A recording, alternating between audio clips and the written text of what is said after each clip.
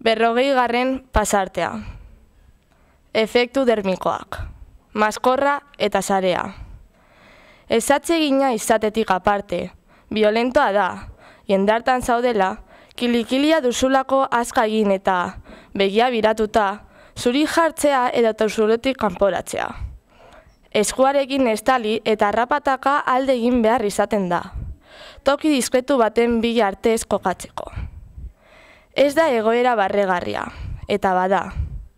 Badu meritu puntua zeure fisionomiaren alde gordin hori zeuren ganatzeak.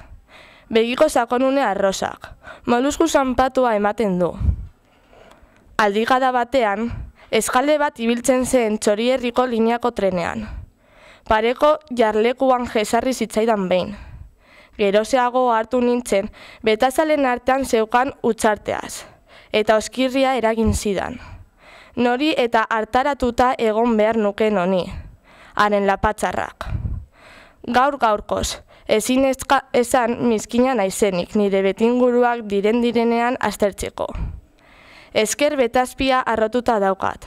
Zaion mediko baten silikona sartu zidatelako. Botsuaren sakonera gutxitu eta bestazpiak mamitzeko. Betondoaren itxura konpentsatzea zen ziringakaten helburu estetiko terapeutikoa. Baina, denboraren periodoz eta kalkulu gaizki ginen ondorioz, toles artifizial horiek migratu egin dute.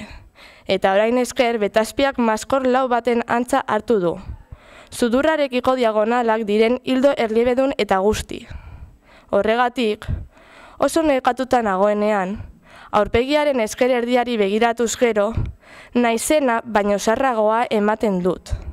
Eskuin betazpia, berriz, simultxo batez apaindurik daukat, niradinari dagokion marrez.